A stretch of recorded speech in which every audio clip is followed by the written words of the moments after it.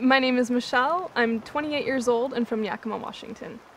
I actually work all over the place. My office is in Dallas, but I travel all over the country for my job as a missionary with uh, a Bible translation organization. So, a lot of my job is public speaking. I travel around to universities and churches and missions conferences, putting on presentations for the need for Bible translation and church planting. Other than that, uh, a lot of my job is then office logistical work. So, well, about four years ago, the Bible drastically changed my life.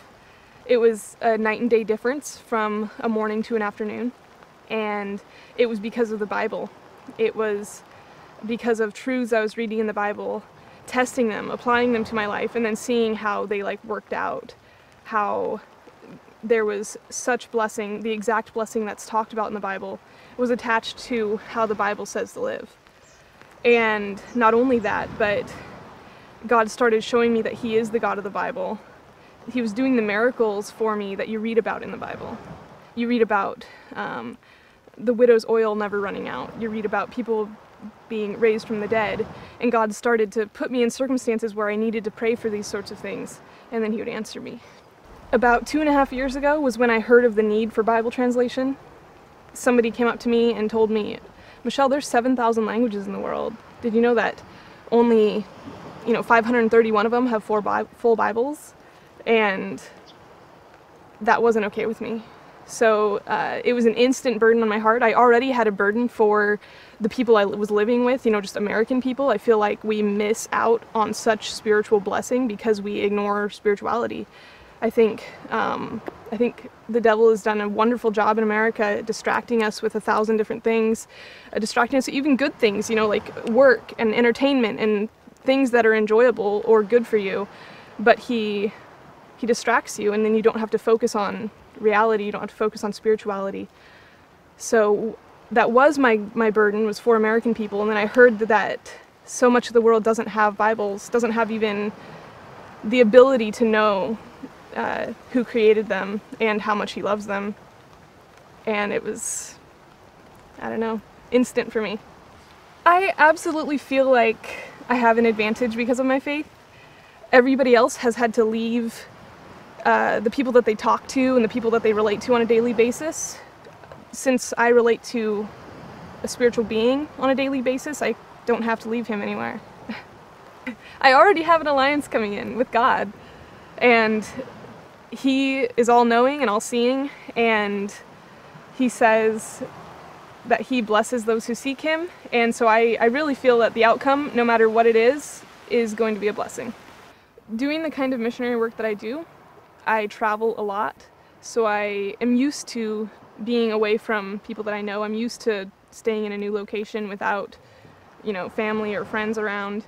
I think that'll be one advantage. Another advantage is that um, because of um, fasting. I'm used to not eating. So I think, and I know that the first fast is always the worst. So I think at least the first few days might be a little easier for me than, than the rest of the people.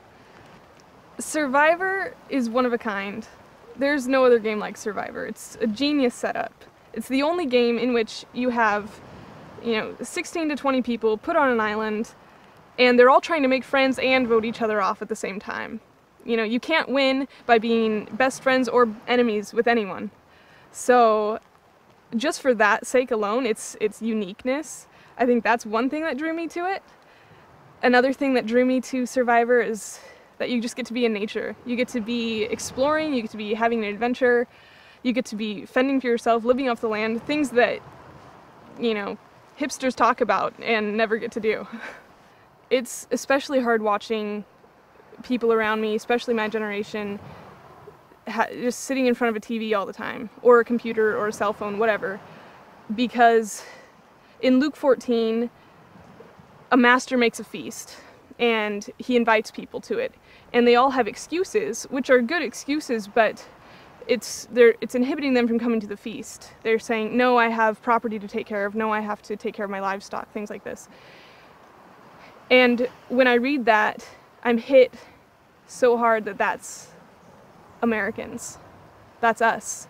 The God of the universe, the God that created everything, is inviting us to commune with Him 24 7. and we say, no, I have my favorite TV show. I have my second favorite. I have my fourth favorite TV show to watch. I have. I have to check my Facebook again. Things like that. And it's sad to me that we trade, you know, such amazing blessing for this little temporary comfort. I think it'll be good for everyone on the island to be away from cell phone, to be away from technology. I think it'll cause you to think, and I hope that they will welcome that time and really use it to their benefit. I don't know what lengths I'm willing to go.